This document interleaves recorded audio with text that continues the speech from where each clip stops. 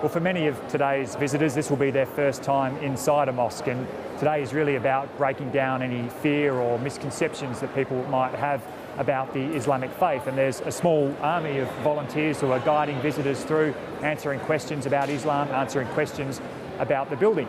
On this side of the mosque, in the ladies section, there's even a chance for women to try on a hijab. Yes, I like that one better on you too. No, I think that looks better on you too.